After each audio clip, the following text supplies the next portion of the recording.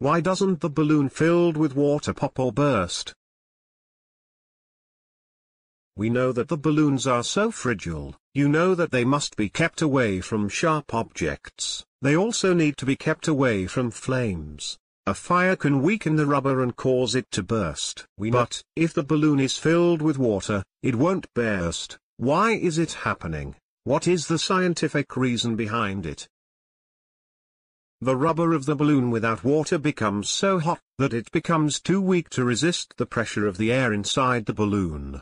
How does the balloon with water in it resist breaking in the flame? When water inside the balloon is placed in the flame, the water absorbs most of the heat from the flame. Then, the rubber of the balloon does not become very hot. Water is a particularly good absorber of heat, it takes a lot of heat to change the temperature of water. It takes 10 times as much heat to raise the temperature of 1 gram of water by 1 centigrade than it does to raise the temperature of 1 gram of iron by the same amount.